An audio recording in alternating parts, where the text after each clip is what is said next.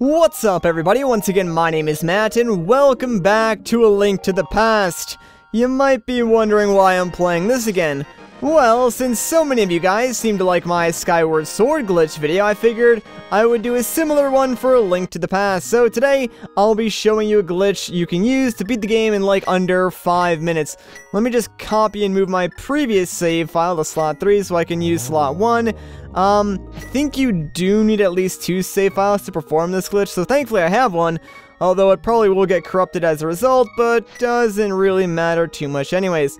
Alright, so, uh, let's get started, shall we?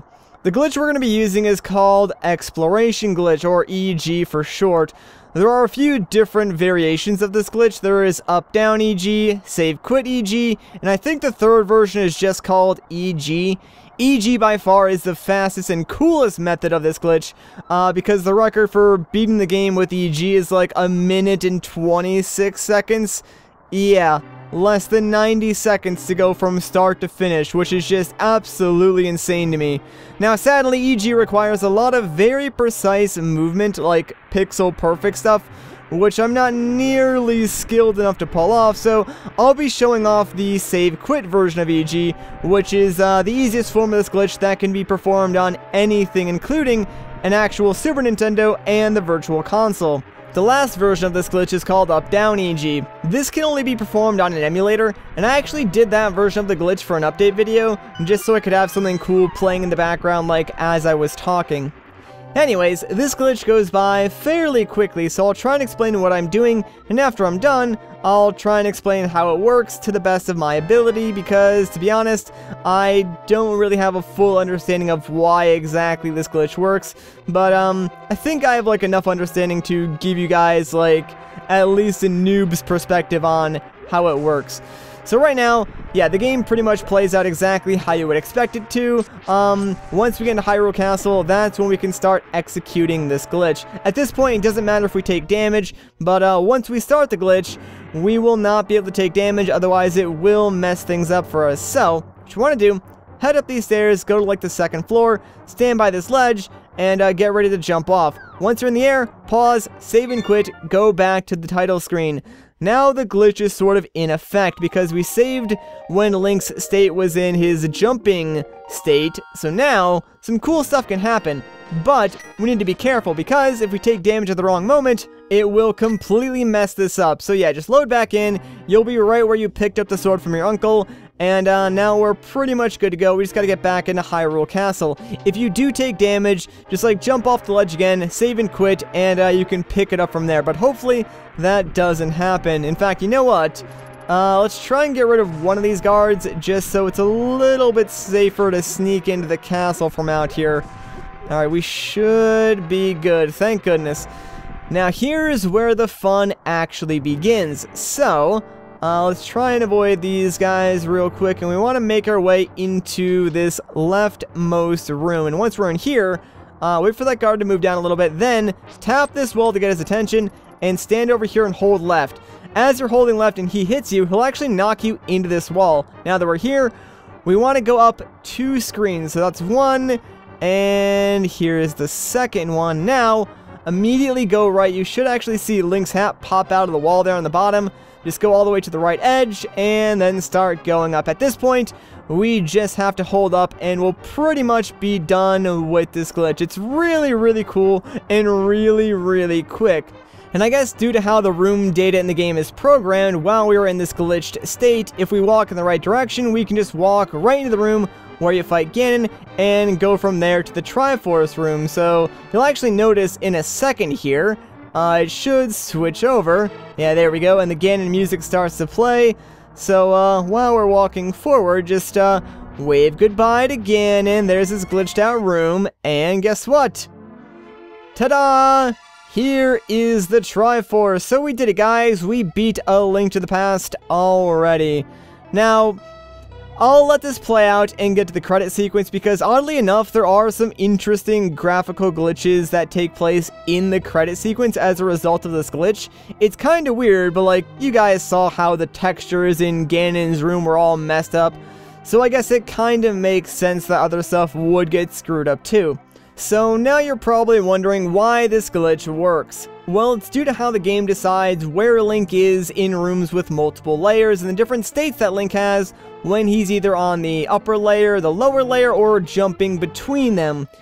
So when Link jumps down from one layer to another, he enters this special state which gives him some interesting properties, like for instance, he can't be hurt. And of course, like this is stored in the game's memory, so once you land, the game is supposed to return you to normal, but if you save and quit, for some reason the game doesn't actually reset that value, and you end up like keeping that jumping state even upon like reloading into your save file, and uh, you're on the ground. So this allows you to do some really weird stuff. Like for instance, when we got hit by that guard the first time, you notice that um we didn't take any damage until we got hit the second time. And that's because when you get hurt while you're jumping, it actually starts the hurt state for Link. And um, when you're in the hurt state, during that like short animation of you taking damage the first time you get hit, you actually don't take damage. But the hurt state cancels out the jumping state. And when that happens, the game tries to correct the previous like jump state glitch and just assumes that because you were previously jumping, uh, you should be on the lower floor. And since like we were in a room where there's no floor directly below us and we were holding left, the game appears to let us walk into the wall, but in reality, we actually just like dip down under the map entirely. And from there, it's just about hitting the proper loading zones. And yeah, check this out. There's like a weird ghosting effect on the Sanctuary for some reason. Not sure why that is, because like it's the only part in the entire credit sequence that has that weird ghosting effect. There are other like sprite glitches too. Like for instance, um, it's not supposed to be raining at all right now, but uh, obviously, yeah, there's that weird like rain effect applied to the entire overworld, and as a result, like some of the sprites look darker than they're supposed to, while other sprites have like the normal sunny day look to them.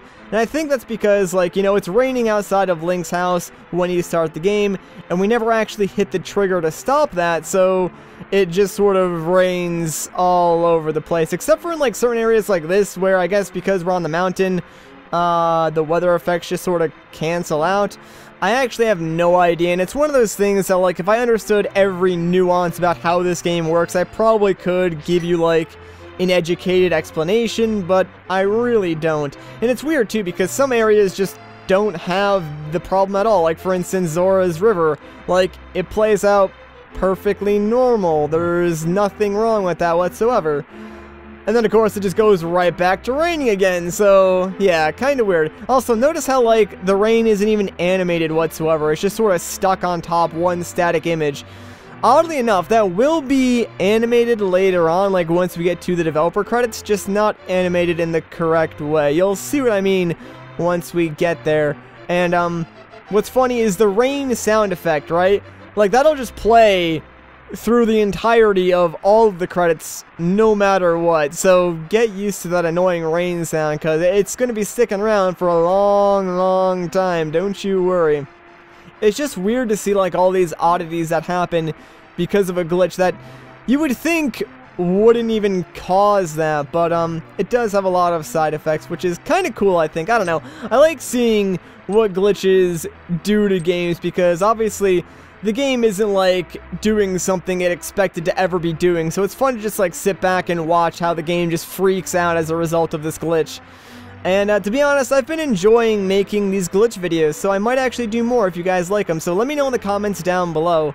And um, if there's any like specific glitch that you would like to see me make a video on, definitely let me know. I do know of a lot of like Zelda themed glitches from watching various different speedruns. Like, I watched a lot of speedruns for Ocarina of Time, Wind Waker, Link to the Past obviously, uh, A Link Between Worlds, and uh, a couple for like Skyward Sword and Twilight Princess, not a whole lot though. My favorite glitches are the ones that do allow you to skip like large portions of the game, like the one in A Link to the Past and Skyward Sword that I did videos on already. I don't think, um, like Twilight Princess or Wind Waker have any, like, huge skips like that. There is the back in time bug in Twilight Princess. That's, like, the same glitch that we used in Skyward Sword. Although I don't think you can do anything like go directly from the beginning of the game to the end of the game using that glitch in Twilight Princess. Uh, Ocarina of Time has some crazy glitches, but uh, they're really hard to pull off. Anyways, though, We'll talk about those glitches some other time, I'm sure. For now, though, the Master Sword sleeps again forever, and here is the actual developer credit. So, this actually gets a little bit creepy, right? So, you see the Triforce in the background, whatever, not a huge deal, but soon enough, uh, yeah, you get like this weird blood rain that sort of like fades in on the background. It's kind of creepy, and also the rain is scrolling from, you know, right to left, and also it changes color.